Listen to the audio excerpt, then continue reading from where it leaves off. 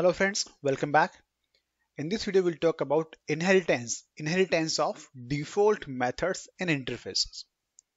In questions, we'll also talk about the diamond problem in interface due to the default methods.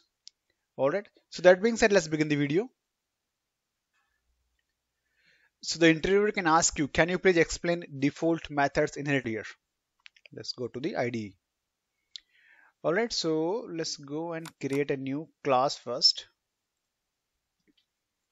I'll call it as default methods inheritance.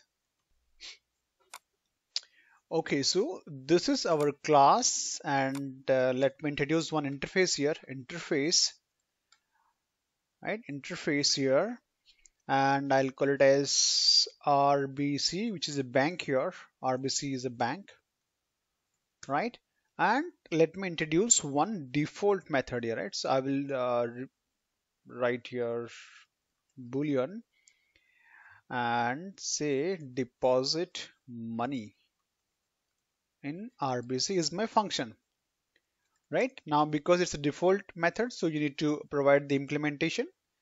Deposit money can i just get some number? So i will just take a variable double and then and then you return True, simple. I hope this is clear, right? It's very basic implementation, very simple. We have one interface and there is one function, a default method, right? Now what I will do, let me create another interface here, interface, and I want to call it CIBC, which is another bank.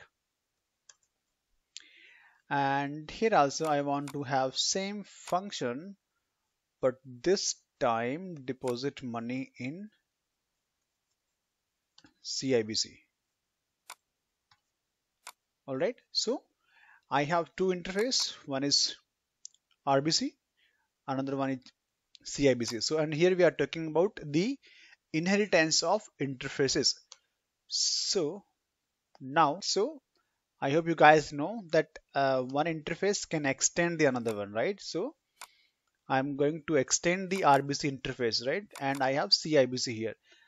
Now, because I'm extending, right? So I'm what I will do, let me just use C now let's go and implement CIBC bank, right? So this is my interface. So implements CIBC bank, right? Now to call the method, I need to create the object of my class new and now I use object dot let's deposit money in first CIBC so I will write 10,000 point zero zero. Happy right? Let's go and add deposit money in RBC as well. Why? Because you see this is what the property of inheritance is right? You can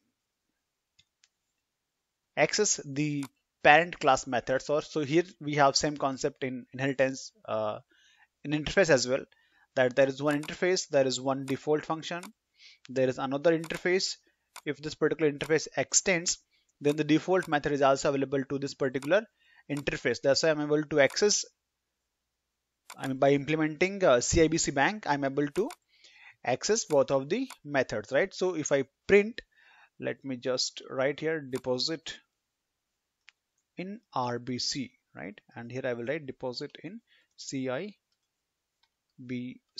right?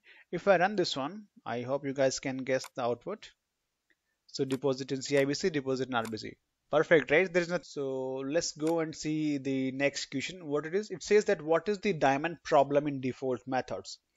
So as we know now, so far we know the benefits of uh, introducing default methods in interface.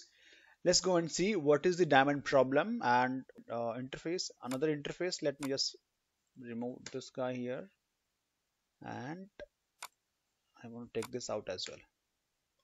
So what do I have? I have two interface and each one is having default methods. Now I want to introduce one more default method. Uh, class, so rename it, let's make it very easy. Transfer money. This is my default function. Now, because it's in bank, right? So CIBC bank can also have same process. Transfer money, right? There's nothing wrong so we have two interface and each one is having two default methods. But there is one common method which is transfer money right? Now for example this my class I have to implement both CIBC bank and RBC bank uh, interfaces right? So what I can do is I hope you guys know right that I that uh, we can extend multiple interfaces right so I want to implement RBC bank comma CIBC bank. Right? Now you see what it says. As soon as you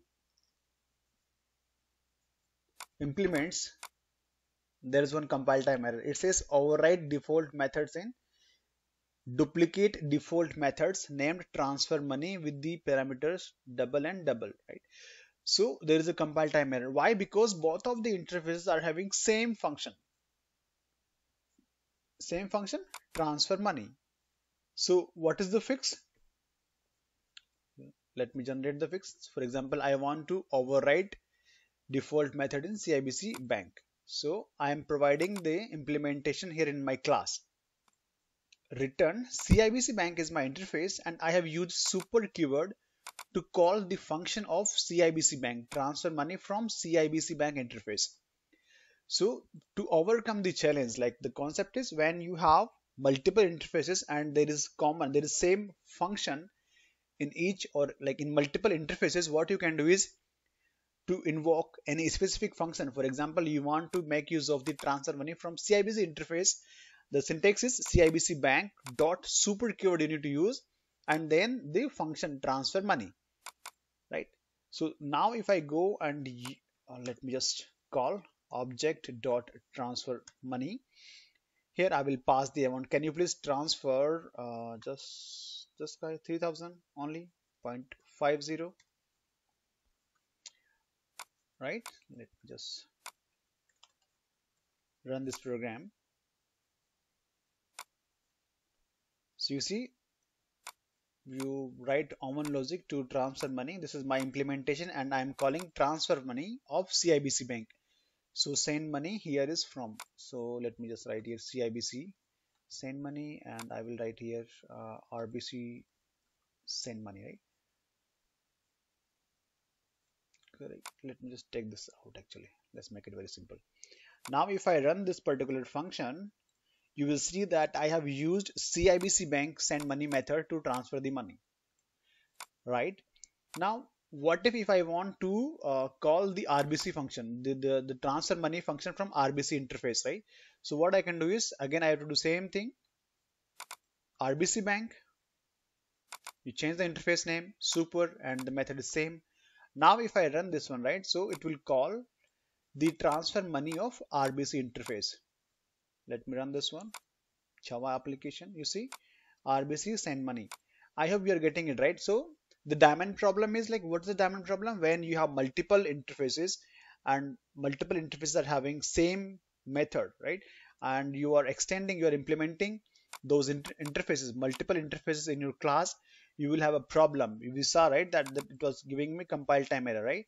So to overcome that particular challenge what you need to do is you need to override the function in your class and to call any specific method from any specific interface you need to use this particular syntax. Your interface name dot super dot function.